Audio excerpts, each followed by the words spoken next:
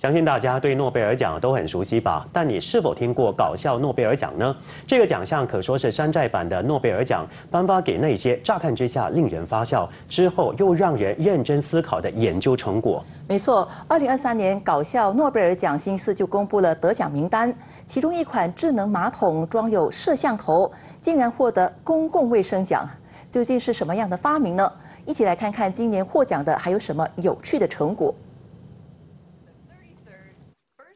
一年一度让人发笑的搞笑诺贝尔奖得奖名单星期四正式出炉。今年的公共卫生奖得主是来自美国斯坦福大学的高级研究科学家朴胜民。他和团队研发了一款智慧型马桶。这款马桶不仅可以识别排泄物，还具有肛门识别技术。简单来说，就是看屁股识人。虽然听起来有些怪怪的，但这款智能马桶运用各种高科技技术来分析人类的排泄物，以监测用户的身体健康。Our toilet can do more than keep us clean. They can keep us healthy. So here's my shout out to you. Let's transform hygiene into healthcare because the ultimate goal of hygiene is effective healthcare. Thank you all for this honor and remember, don't waste your waste.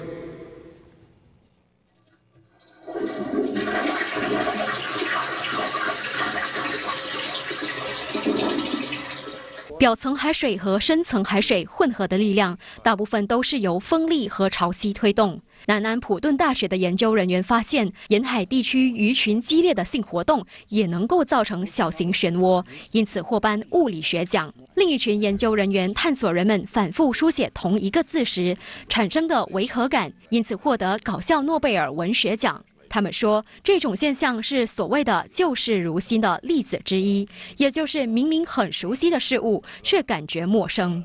The the the the the the the the the 地质学者扎拉谢维奇因为解释了许多科学家喜欢舔岩石的原因，获颁搞笑诺贝尔化学和地质学奖。You know, for such a fundamental thing, indeed, in in um, in geology and chemistry uh, as licking rocks, you know, which geologists do all the time in the field um, because something that's not very clear well, then becomes much clearer when you look at it with a wet surface. Uh, and so I'm a field geologist. I've licked a million rocks.